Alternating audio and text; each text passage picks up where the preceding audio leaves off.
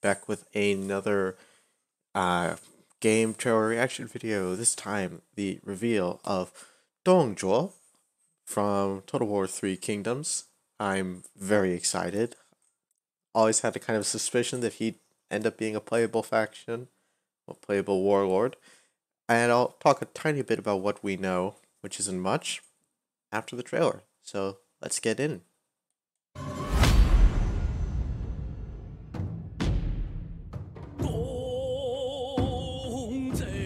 This is really beautiful. Hmm. Big boy. Only power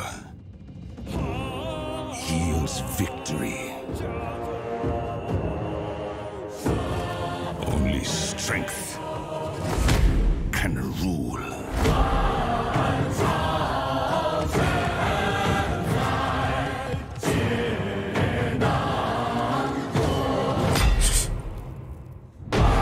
Wouldn't want to get hit with that.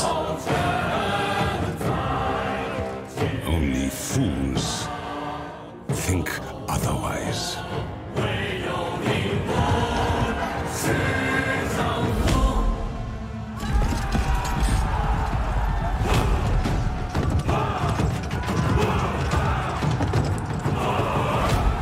They oppose me.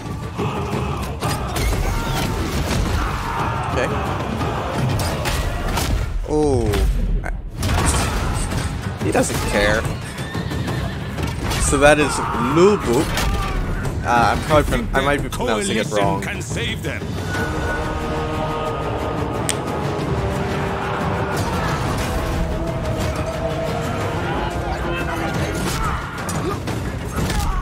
They are the dogs barking at a tiger.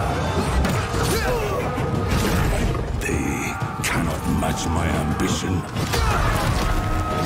They cannot overcome my strength. But they will bow before my rule.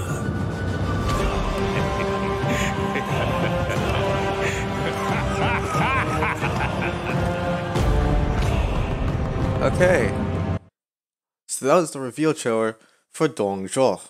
So what do we actually know about him? Well, how he will play? Currently, not uh, not very much. What we do know is he is going to be a free content. So he's not DLC. There's no payment necessary.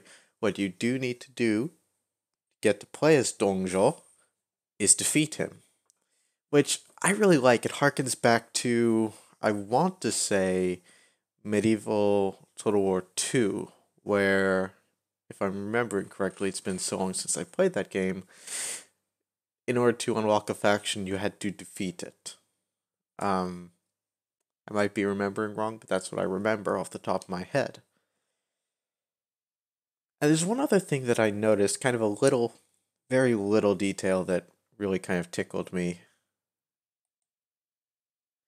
This whole sequence of Lubu marching on his own down the corridor, well, down the uh, the rows of courtiers and soldiers, up the stairs to join Dong Dongzhuo, made me think of um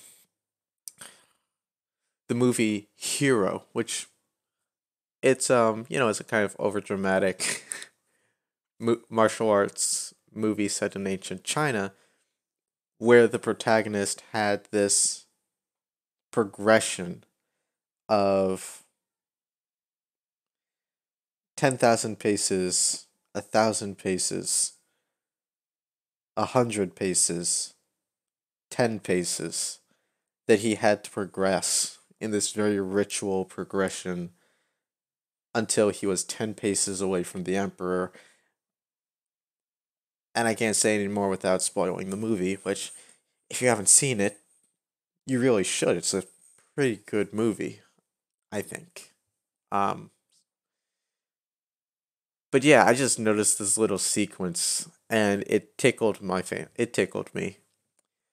But I'm really excited about this. Um, the closer we get to release, we're about three weeks away. The more excited I get, And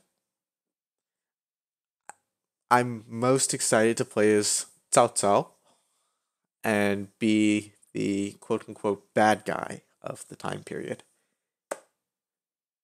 But those are just my thoughts. Um, my excitement, my hype. There is a lot of hype. I want to know what you guys think. What do you think about Dongzhuo from what we're seeing so far? What's your opinion of him? Uh, are you going to play him after you unlock him? Who's your favorite warlord and why? What are you excited about for this game? What concerns do you have? Because concerns are perfectly valid.